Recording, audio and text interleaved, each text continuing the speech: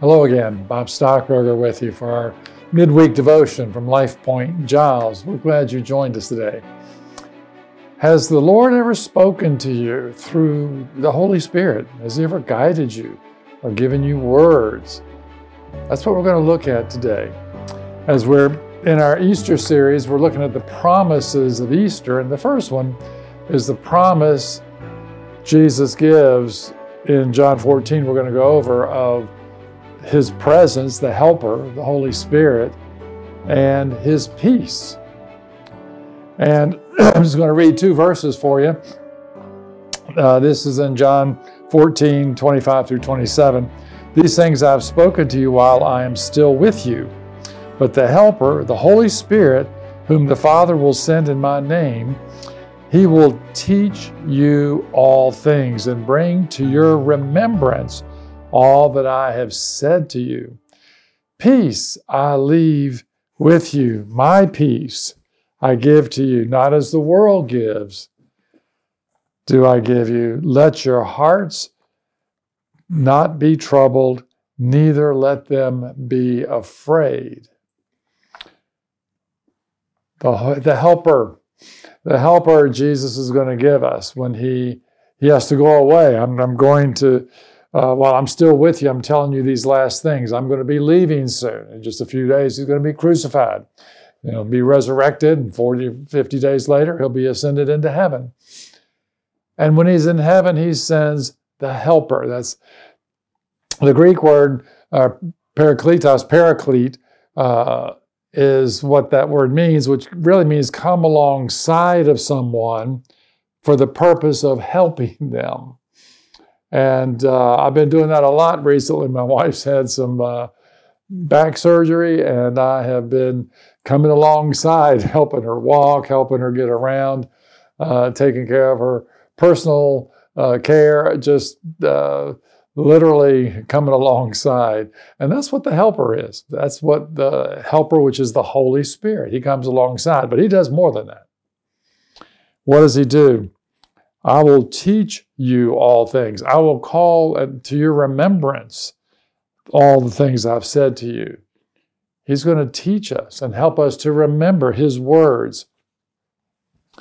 And then He's going to give us peace.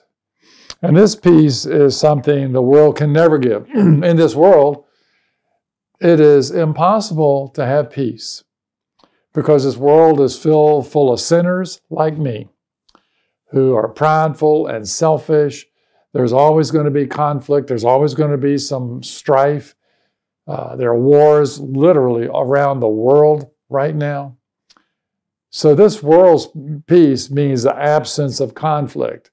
And because we live in a world of fallen, sinful humans, there will always be conflict. So, this world will never give you peace, ever. But Christ will. He will give you his peace, which um, that word from the Hebrew shalom is a greeting, but it means a lot more than that. It means you're in perfect harmony, living in the will of God, in that right relationship with our Lord and Savior. That is what peace really means that Jesus gives us. now, have you ever had that a word from the Lord. Um, I'm going to close with an example. My wife, we had trouble with getting um, pregnant our, when we were beginning our family many, many years ago. Um, we had a miscarriage, which was devastating. Several months later, another pregnancy. And this pregnancy was jeopardized. As a matter of fact, uh, um, in a visit, my wife was having a lot of problems, cramping and bleeding. And the high risk OB said, You know, um, this uterus is hard and firm. I think you're probably going to lose the baby um, tonight. I'll see you back tomorrow. We'll see how things are going. Of course, we were devastated. Kathy couldn't sleep very well. But during the night, she heard words from the Lord. And these, the Lord, the Holy Spirit said, read Luke 950. Luke 950, and just read it. And she hopped up as soon as she woke up the next morning and said, I've got to read Luke 950. a voice told me to do that. Well, that voice was the Holy Spirit teaching her, showing her where to go in Scripture. And here's that verse. Um, it was uh, when Jesus healed Jairus' daughter.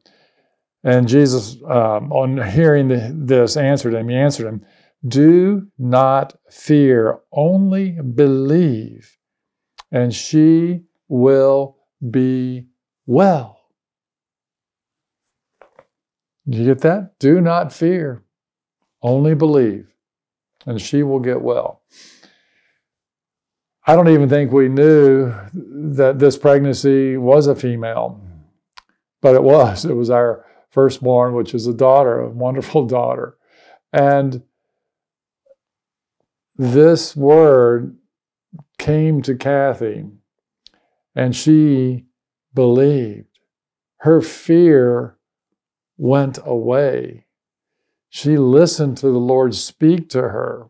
She looked at his word and knew that it was true. And she just had a peace that came over her that you can never imagine. Is we call it the peace that passes understanding in Philippians 4, right? And you just don't understand that. In the midst of all this upset and turmoil, oh, we're going to lose another baby. Oh, no, no. She was covered with the Word of God who taught her and showed her through the words of Jesus and written in Scripture, and he gave her peace.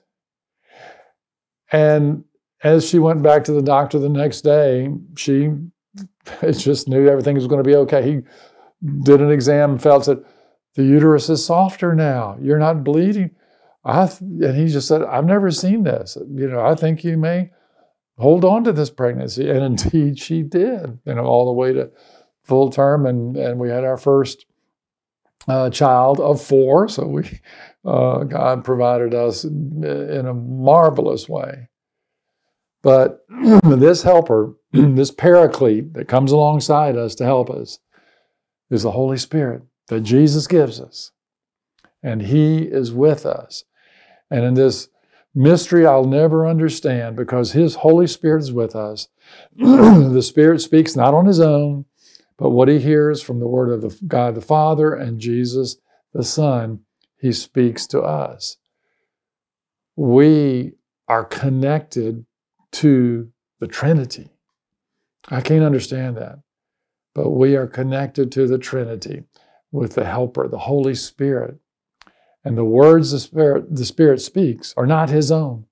They're from the very throne of God the Father, and at his right hand the Lamb who was slain, Jesus Christ. And those words come to you, just like they did to Kathy. And I've had the Holy Spirit speak and, and guide me in Scripture, and words will just pop out, and He will lead me in His path of righteousness so often. That is the joy of the Helper, the Paraclete, the Holy Spirit, the very presence of God in us to give us that peace this world will never give us, even in our most difficult struggles. Pray with me. Father God, I'll never understand how I can have the righteousness of God. You give that to me because you took my sin to the cross, you who had no sin, so that I might have the righteousness of God, as you teach us in 2 Corinthians 5.21. How I have the righteousness of God of being a filthy sinner, I cannot explain. How I can be part of the Trinity through the power of your Holy Spirit, I cannot explain. I cannot understand. But I know you speak truth. And I feel your presence. I feel that peace and that joy and that hope that we have that it will never fail because of your power that you give us through giving us this helper, this Holy Spirit. Thank you, Jesus, for this promise. Thank you. Thank you. Thank you. Amen. Hope you've enjoyed our devotion this week. Um, share it with people, like it, subscribe to our channel. Uh, we'll see you back next week. If you don't have a church home, you come visit us, LifePoint Giles, 600 Tazewell Street, right in the heart of Pearisburg. Uh, we worship at, uh, we have Sunday school at 10:15 and worship at 11:15 every Sunday. Come visit us. God bless you.